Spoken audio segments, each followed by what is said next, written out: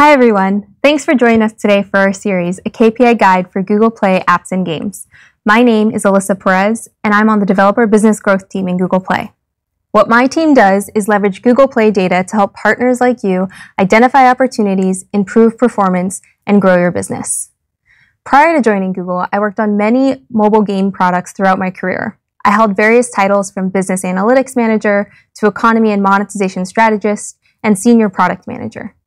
But for today's webinar, we're going to do an introduction to some of the most common metrics that mobile developers are tracking. So if you're new to mobile analytics or are looking for a refresher on key performance indicators you should track, this will be a great way to be brought up to speed on the metrics, how they're related, and how they're calculated. And for those of you that are familiar with some of these already, we'll be going into some examples of how to draw business insights from them and some guiding questions to point you in the right direction to understand your business's performance. Now, the reason we're sharing this framework with you is because we believe that having a strong grasp of these KPIs and how they're related will help drive your product mode roadmap and grow your business. And before we start, we also want to say thank you to everyone who submitted a question when registering. You'll see a Q&A section on the page, so please feel free to share your feedback, comments, and questions at any time. This is the metrics tree that we use at Google Play. It's based around daily revenue because we all know we want to drive a strong bottom line. We're going to go through this framework together, looking at how the metrics are related, how we calculate these, and some examples of using them. Now, I do want to note that not every developer will look at their title's performance on a daily level. So if you are, for example, more of a weekly or monthly destination, you might set up your tree differently to be more meaningful for the cohort of users that are most important to you. But we'd still love to hear your thoughts and feedback in the chat. So feel free to share how you look at these KPIs for your business, especially if you see some that aren't present here or maybe slightly different. But let's jump right in. Let's start with daily revenue. Obviously, we're all tracking this because we want to understand how much money our app is bringing in. But the way that you can calculate this, or the two levers that are driving it, is you can multiply DAU, or our daily active users, by the ARPDAU, or average revenue per daily active user. So I have two levers there that I can pull to drive daily revenue. I can either increase my user base, or I can increase how much revenue I'm getting out of each user in my title. But we're going to start with the daily active users branch of the tree, and then we're going to work our way down and go through each of these metrics and talk about how they're related. So daily active users, we can grow our user base by doing two things. We can get new users to come in, or we can have more users return to our title. So in this case, daily active users equates to the sum of the new installs we see coming into our title and the returning users. So going one step down, let's talk about new installs. Try and answer the question of how successful are we getting new users into our title. Now in this case, you have two levers that you can pull. You may have organic installs or what we call deep link installs. Now I want to call out the difference in nomenclature here. Deep link is not a common term that I ever heard when I was on the developer side. But at Google Play, it's the only insight we have into things that are happening outside of the store. So if you are a mobile developer, you probably have a deeper insight into where your new installs are coming from. Meaning, if you're doing paid acquisition, you can probably track which channel they're coming from. However, at Google, because we don't have that insight, we simply group anything that's coming from outside of the Play Store into the deep link bucket. So let's talk about how you would um, kind of use these child metrics like organic and deep link installs to understand, you know, what are the insights into my business. So starting with organic. If you happen to get feature on the store, that's great. It's a great way to get organic traffic. But you can also think through what type of virality your title has. So that goes to what type of social virality is there? Is there a big hype um, that's happening, or do you have a social feature that's allowing people to invite others uh, or kind of bring them in? So again, you can use your own title and the features within that to drive organic traffic. Now for deep link, it's really important to think about your acquisition strategy. Now, in terms of deep link conversion, you want to think about testing on the Google Play Store listing. Is there a test you can do on the icon? The wording, even the screenshots that you have available can be really powerful to drive conversion for users who are on the store or that you're driving to the store. On top of that, you want to make sure that any ads you do or anything like that provide the clear value that your app would provide to the user in order to optimize the deep link installs you have coming in. So in this case, new installs is the sum of organic installs and deep link installs. But now let's talk about the other side, returning users. How successful are we at getting new users to come back? So it's great to have a, a large top of the funnel, pushing a lot of people into the app. But if you're not retaining them, you may be wasting marketing dollars. So it's really important to understand the um, retention of the new users that you're bringing in. So the way that we calculate returning users is by multiplying the um, percentage of users that returned on a certain day um, by the cohort size from the previous day active. So for example, if you're looking at D2 retention, you would look at what percentage of the users returned on their second day multiplied by the size of the install cohort on the very first day. So in this case, you're going to actually multiply and then sum, and that's because you're going to have users across varying ages in the game. You may have users who are brand new, but you also may have users who have been in your title for months, two months, three months, even sometimes a year, depending on how mature your title is. So again, you're going to multiply those by each install cohort and then sum across them to get the returning users. Now here, I like to think about returning users um, in another way as well. It also includes reactivated users. So not only do you want to understand early retention, so for new users that are coming in, really think through what that onboarding looks like. Um, do you have any long loading times, large secondary downloads? Is your lobby really clear or is it confusing that can cause you know people to bounce right out after they come in? But also you can understand which channel is driving. So now we're linking the two sides of this tree. So DAU, you may see stronger retention from organic users or organic installs, and that's because they're naturally interested in your title. So it is important to understand the relationship across these and break out retention or those returning users by the channel that they came in on as well. Now, as you look forward for retention, so we talked a little bit about early retention. I also want to talk about later retention. Um, if your users are staying around for the first month, but after the first month you're seeing very, very low retention, it drops off greatly. Some things to consider are the types of content that you have available how much is available to the actual user in order to consume? Um, am I continuing to see increased engagement from the users that are sticking around?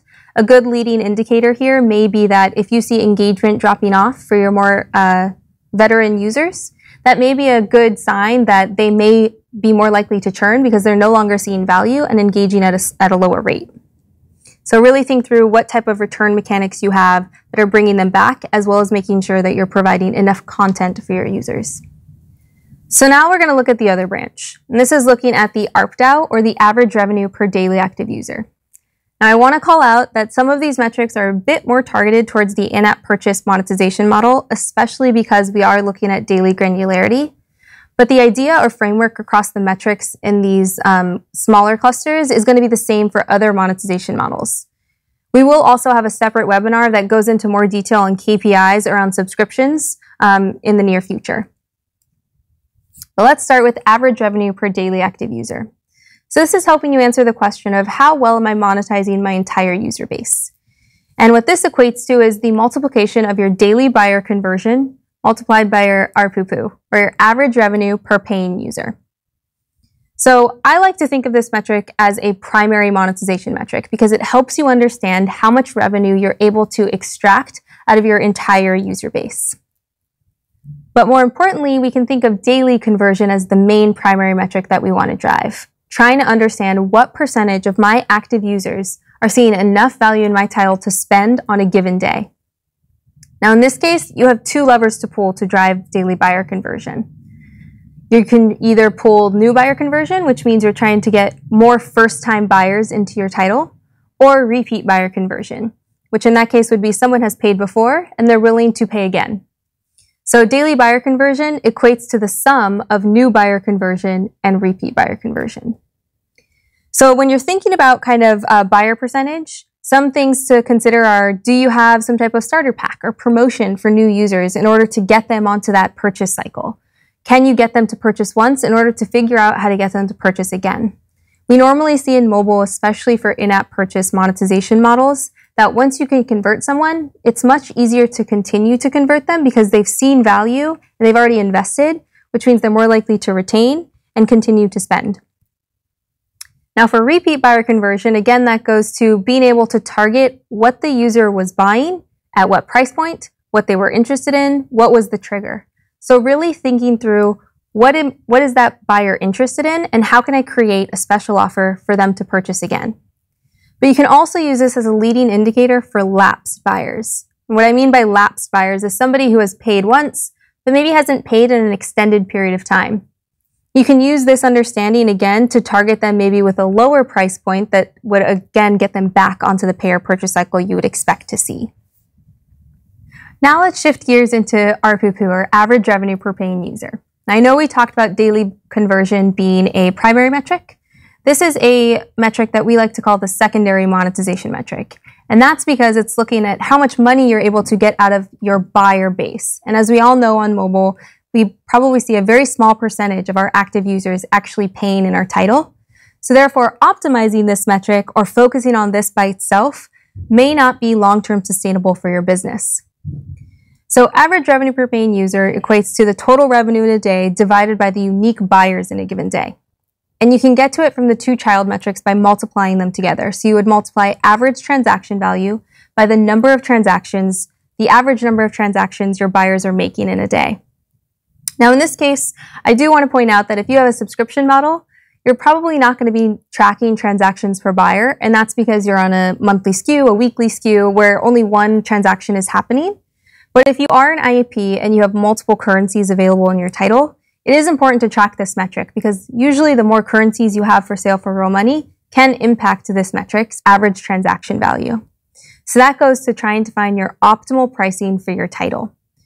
And you want to balance not only the optimal pricing in order to get the maximum value per transaction, but also maximizing conversion.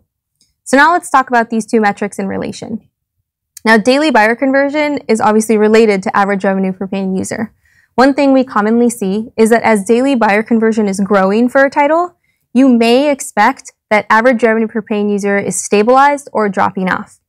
And depending on how many price points you're offering in your title, that could be because you're getting a larger number of users to pay a smaller amount, as opposed to being heavily reliant on a small number of users paying a large amount. So if we go through an example of, is it better to drive my average revenue per daily active user up by increasing conversion or average revenue per paying user? Now, it's a lifelong question. I think it's one that uh, takes a lot of balancing. But in our opinion at Google Play, it's really important to focus on that primary metric. It's much healthier to have 100 $1 buyers than it is to have one $100 payer. And that's because your risk goes down. If I lose one $1 payer in that 100 buyer pool, I only lose 1% of my revenue versus if I lose that one large buyer, it's going to have a larger impact on my bottom line. So it really is about finding the optimal balance between how many users can you convert and show them value for paying in your title, but also optimizing what is the right price point for each user. Now that we've gone through the tree, let's take a look at the full visual again. So here you can see it in its entirety. And I really want to explain now that we've gone through each of the clusters, how to read it in its entirety. So every metric is going to have a parent. And if two metrics have the same parent, you're going to multiply them together in order to get the parent value. The only time that this isn't true, and we went through these examples, is when there's a dotted line around the metric. So for example, Daily active users equates to the sum of new installs and returning users. So that dotted line is an indicator of summing the children in order to get to the parent value as opposed to multiply them. So let's jump into Q&A. Um, so we have a question coming in. Should I care more about how much pain users are spending or how many people are paying at all? Is one more important than the other? It's a really great, great question. Um, I did kind of touch on it a little bit, but it is finding the optimal balance for your title in terms of how many users are converting and how much you're getting out of those users. Now, in our opinion, it goes back to that primary and secondary metric. It's always safer to invest in trying to figure out how to get more breadth and more of your user base spending, as opposed to relying on a small subset of users that are paying a lot of money. Um, so it's up to you, but we like to say, you know, focus on the primary metrics. And once you've optimized how many users can spend in your title, you can then figure out how to optimize the secondary metrics or average revenue per paying user. Um, we also have another question. Does time of day matter and for which ones? So um, if you're tracking any of these metrics in real time, I'll use DAU or daily active users as the biggest example here it is important to take into account which markets you're heavily prevalent in. Um, so, for example, if you are a developer based out of the US, but you are targeting APAC markets, it is important to understand the time difference between there. You may see very, very low daily active user counts during our middle of the day, but that's because it is the middle of the night in APAC. So it is important to take into account which markets you're targeting um, or are making up majority of your user base. Um, do you recommend calculating monthly users as 30 days or 28 days? This is a really, really great question. Um, it's one that I've worked at companies that we've done both. So I think as long as you're consistent across all of your metrics, it's up to you. Um, I have done some where it is calendar month. In that case, it is a little bit more difficult to see daily performance because you're waiting for the end of the month to occur before you actually see your true MAU for, for example, October. Um, but if you do a rolling 28 days, it may be easier to kind of see quick changes in any of the metrics. So it's up to you guys, but as long as you're consistent across what that definition is, you'll be fine. Uh, the next question, how does the right side of the tree look different for subscriptions?